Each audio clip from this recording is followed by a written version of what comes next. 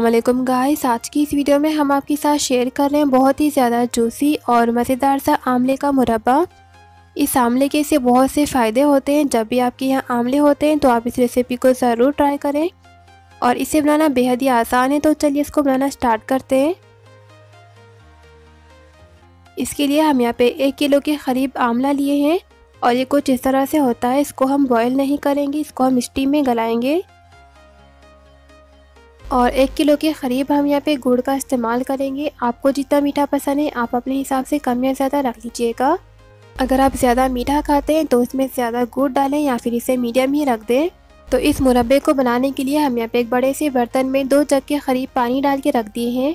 पानी अच्छे से बॉईल होने के बाद हम आगे का प्रोसेस स्टार्ट करेंगे। तो यहाँ पर आप देख सकते हैं, पानी हमारा अच्छे से खोल रहा है। इसके ऊपर हम कुछ इस तरह की छनी रख देंगे और एक एक करते हुए सारे आमले इसके अंदर रख देंगे। जब इसके अंदर सारे आमले चले जाएँगे, हम इसको आधे घंटे तक ऐसे ही बंद करके रख देंगे। इस आमले को स्टीम में रखने से थोड़े से गल जाते हैं तो हम इसको आधे घंटे के बाद ही निकालेंगे।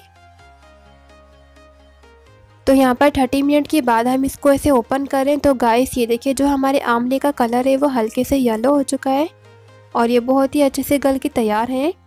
हम एक ऐसा फॉक लेंगे और इसके अंदर होल्स करेंगे। आपको तमाम आमले के ऊपर ऐसे होल्स करते जाना है, आपको इसे डीप तक करना है।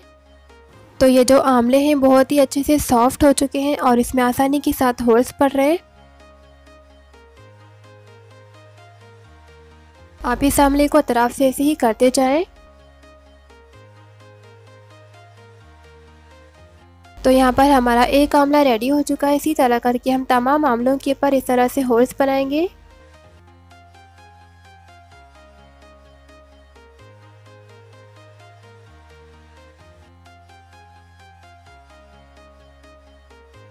तो तकरीबन 15 मिनट के बाद ही हमारे सारे आमले रेडी हो चुके हैं।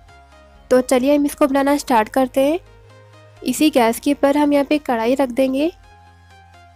और एक एक करके तमाम आमले हम इसके अंदर रख देंगे। इसका फ्लेम हम कुछ देर के लिए लो कर देते हैं। तो यहाँ पर सारे आमले कढ़ाई में चले गए हैं। ये जो हमारा गुड़ था ना, हम इसको ऐसे बारीक कर लिए हैं। तो इसके अंदर हम ये शामिल कर देंगे।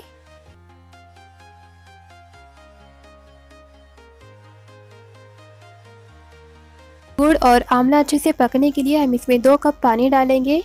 दो कप पानी लेके हम इस बड़े से कप में डाल दिए थे। तो हम इसमें मिला देंगे। इसमें पानी डालने के बाद गुड़ और आंवले को अच्छे से मिक्स कर देंगे। तो गाइस, हम इसे बंद करके बिल्कुल भी नहीं पकाना है। हम इसे खुला रख के ही पकाएँगे। जब तक आंवले पूरी तरह से गल नहीं जाते, तब तक आपको इसी तरह पकाते रहना है। तो इसका फ्लेम हम हाई कर दिए हैं। हम इसको 10 मिनट तक पकने के लिए यूँ ही छोड़ देते। हैं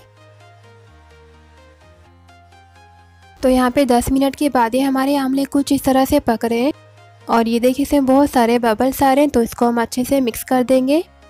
अभी ये जो हमारे आमले हैं, वो पूरी तरह से गले नहीं हैं।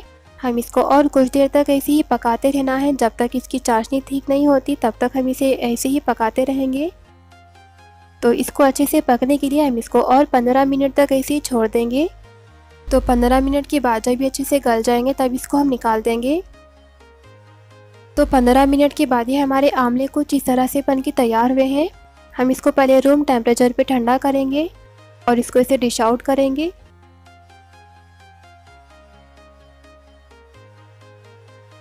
तो यहाँ पर तैयार है बहुत ही ज़्यादा जूसी और मज़ेदार से आमले का मुरब्बा। आप चाहे तो इसके ऊपर सौंफ और इलायची का पाउडर भी डाल सकते हैं, लेकिन हम इसे स्किप कर दिए हैं। तो ये देखिए, बहुत ही अच्छे से गल के तैयार है। आप भी इसे अपने घर पे एक बार ज़रूर ट्राई करें। इस आमले के खाने से बहुत से फ़ायदे हैं और इसमें बहुत सारे विटामिन रहते हैं। तो आपको हमारी आज की वीडियो पसंद आई है तो इसको लाइक, कमेंट से ज़रूर कीजिएगा। अगर आप हमारे चैनल शाहिदास कुकिंग पर न्यू हैं तो उसको सब्सक्राइब करना बिल्कुल भी ना भूलें। तो हम मिलते हैं कोई मज़ेदार रेसिपी के साथ। तब तक के लिए अल्लाह हाफिज़।